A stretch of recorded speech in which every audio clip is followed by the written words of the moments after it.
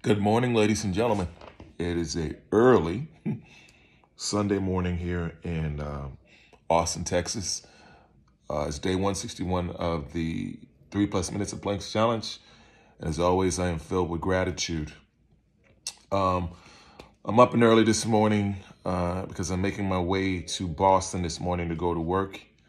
And uh, so there's a few things that I wanted to do today in the morning before uh, leaving the house. Just clean up a little bit, get some stuff set up um, before I leave.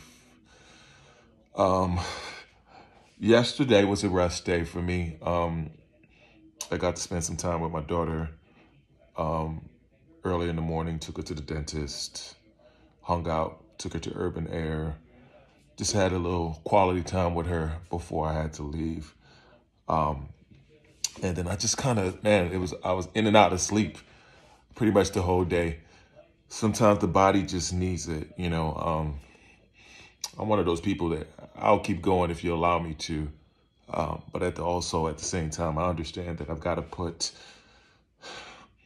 rest and recovery in my routine if I want to uh, operate at my max maximum capacity. Um, yesterday uh, was the year anniversary of my dad passing. And so it was a, uh, I was in a space of joy, sadness, pain, relief, a multitude of emotions. And um, I was thankful for it. You know, uh, it was a, it was a great feeling. It was a great space. Uh, I got to talk to my stepmother a little bit yesterday. Man, when I tell you that I'm thankful for life, I don't play around with that. You know, I, I don't I don't lie about that. I don't. I don't know how to explain it. Um,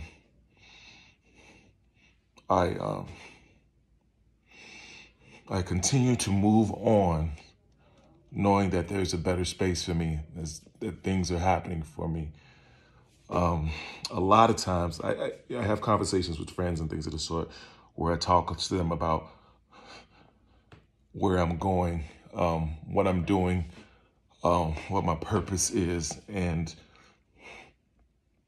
it's a magical feeling, you know, when you start to operate in that space and realize things about yourself that you either didn't know or weren't receptive to. It's a blessing. Anyway, I gotta keep going. So uh, be blessed today and every day. Talk to you soon.